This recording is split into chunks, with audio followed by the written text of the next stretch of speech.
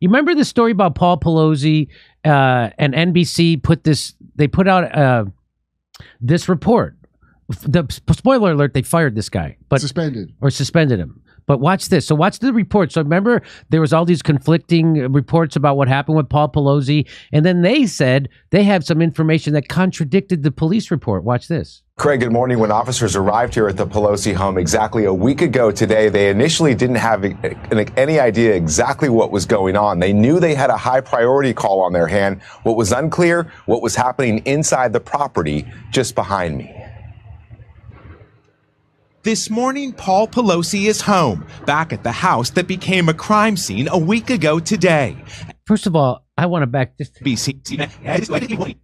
So if you break into the house, why is all the glass on the outside? That's the first Hmm. question that people have. Why is all the glass on the? If I'm hitting a window, the gla- I've broken windows. By the way, I've broken windows of my neighbors. so I, you break their window, uh, the it all goes inside. It doesn't come outside. So that's right away suspicious. But go- here we go. It kind of looks like a lubed hammer flew out of your hand. I just, uh, you know, no, I'm not an investigative journalist. A week ago today, NBC News learning new details about the moments Oh, police new arrived. details. Sources familiar with what unfolded in the Pelosi. I love the way the guy talks. How Yeah, reporters the talk. Pelosi ta- the new details about what happened. it's so fucking amazing. They Is all the talk. same guy? Yes. He has a completely different voice than his opening. Yeah. I, voice. right. I know. The residents now revealing when officers responded to the high priority call, they were seemingly unaware they'd been called to the home of the Speaker of the House. What? Let's say they weren't aware. That must have been the craziest call. You're like, wait, wait, Wait, is this a- what? Is this the third most powerful person in the fucking world? Hey, Sounds- stop hitting him with that hammer, you. After a knock and announce, the front door was opened by Mr. Pelosi. The 82 year old did not immediately declare an emergency or try to leave his home. so that's big news. So that was the big part of the news they didn't want out. That when the cops came, Paul Pelosi didn't go, "Thank God you're here, save me." He just went, "How you doing? Come on in."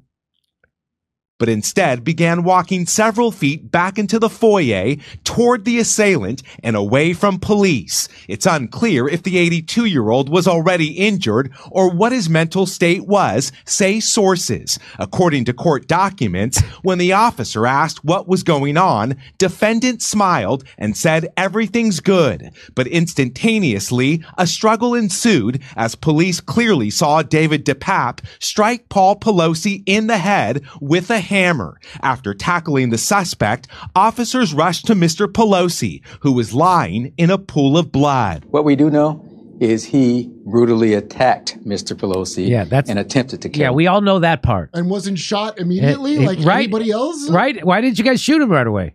Anyway, After spending several days in the ICU, Pelosi, who is recovering from a fractured skull and serious injuries to his arm and hand, is now home where Capitol Police remain on alert. Investigators have previously said Pelosi did not know DePape when the 42 year old broke into his home.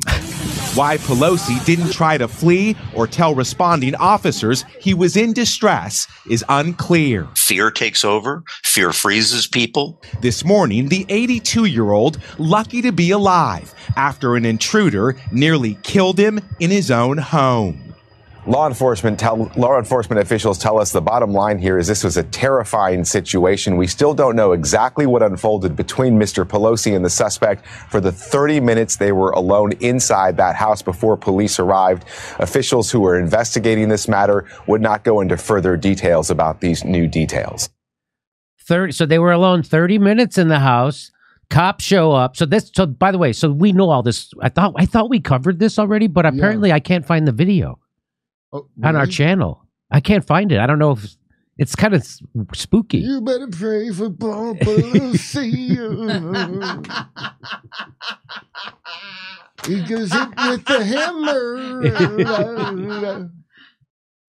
What's the word she says all the time? Lure, a pass allure. Allure. Yeah. How does she say it? allure. Allure. You gotta clench your teeth. So guess what? They fired this guy for doing that report. Suspended. Suspended. suspended. I mean, they suspended him. NBC News reporter Miguel Almaguer oh suspended. So they first they took that. First of all, the story went up. Then they immediately took it down, and they wouldn't say why.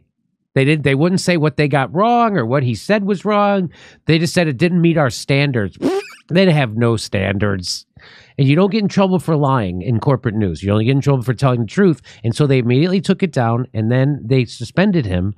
And why did they suspend him? Because it because according to them, somebody was spreading misinformation about Paul Pelosi. Oh, You better pray for Paul Pelosi, pal. Now say it 12 times fast and rub lube all over your hammer if you know what I mean. and you better not know what I mean or you're fired. like a rosary. Like a- so that guy does that report. The report contradicted court documents filed in DePape's case that said Pelosi nervously but calmly greeted officers in a dimly lit foyer where both men stood. It was later taken down with the explanation the piece should not have aired because it did not meet NBC News reporting standards. Did I miss how that contradicted the court documents, by the way? what? How does that contradict the? It says Paul calmly but nervously greeted of officers, not nervously and calmly. and how the fuck does one nervously but calmly What? do anything? It's like saying Paul Pelosi's dick was floppily rock hard.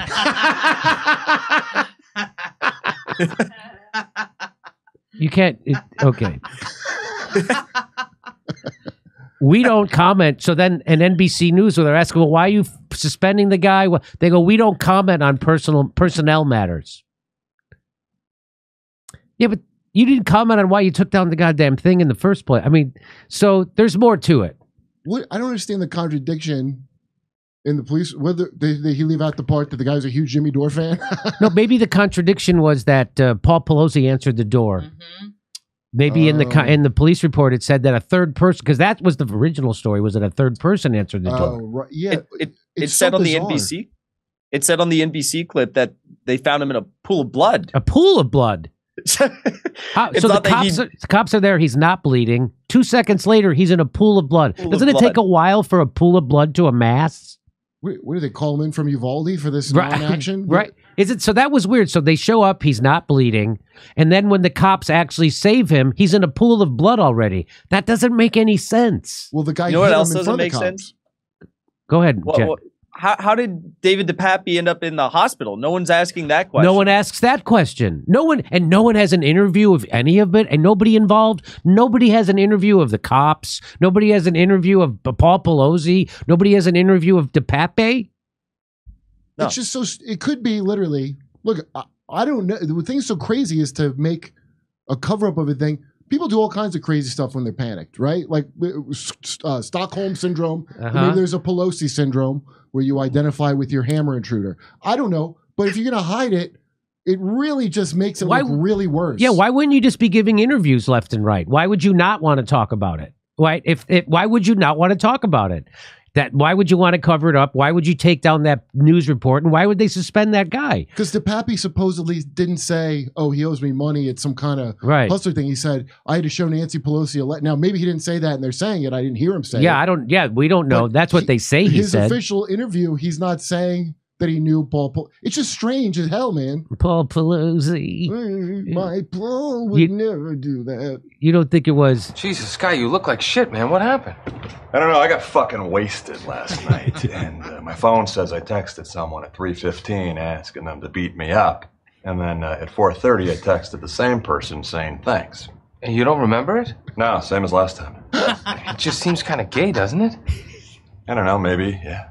Well, do you think you're part of some like gay beat up underworld, like one of those gay beat up clubs or something? I know. I dig chicks, man. I don't remember any of it. I was so fucked up. I might be gay. I don't know. Hey, do you mind covering for me for a bit? I might go lay down in the john. That's one of the funniest goddamn things. Patrick Warburton, fan of pussy, is the show I do with Kyle. Oh, really? Yeah. Can you believe that that that first of all that that sketch even exists already? Yeah, because the Simpsons thing, I now understand that What time Simpsons is a thing? flat circle. The 2010 Simpsons clip you played of Oh, cat feline flu or whatever the hell. yeah, of them pl- planning COVID. And also, I I have a long-standing thing that Fight Club is like a, rom- a romantic gay comedy for straight men. So it was supposed to be. So uh, Tyler. So what? What was the guy's name? Tyler Durden. yeah, That was Brad Pitt, right? Brad Pitt, and he's fighting himself in the parking lot, right? So Brad Pitt was supposed to be an unconscious projection of. He goes, "I dress how you want to dress. I act like you want to act. I fuck like you want to fuck." So remember, Pa- Yeah. Brad Pitt's with the girl. He goes, "You want to come in?" And Edward's like, "Ew, can't we just hang out? Why is a girl?" Here? The, whole thing is is like Yeah. clearly, It's like his, his alter ego. and I don't think it was consciously written that way. I just think Chuck Palahniuk, who's a uh, a gay guy, it like subconsciously came out because, dude, none of my black friends were like, "Oh, Fight Club." They- Black movies aren't like we need to start fighting more. like that's the real white, emasculated, and then possibly a subtext of gay, real Spartan stuff, you know. Yeah. So that, that so that was so okay. Anyway, um, it's quite a sketch. it's quite a sketch. Even screwed up the head at one point on there, and I don't care I know. because it's good material. What movie is this from? from Ted? Probably Ted one or two, Oh, really? which are pretty deep, funny movies. I I saw both of them funny. yeah. Isn't that funny how that could be funny?